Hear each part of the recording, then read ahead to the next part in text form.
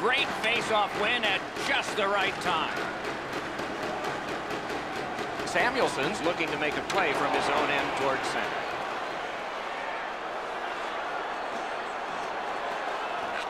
And on to McMillen.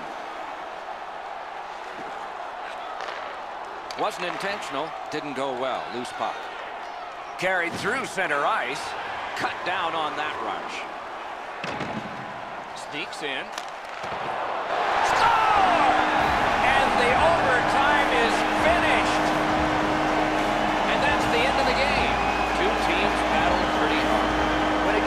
OT, it seems like the smallest thing can happen and then go wrong for a team.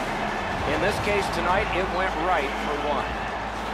The little extra plays that make all the difference.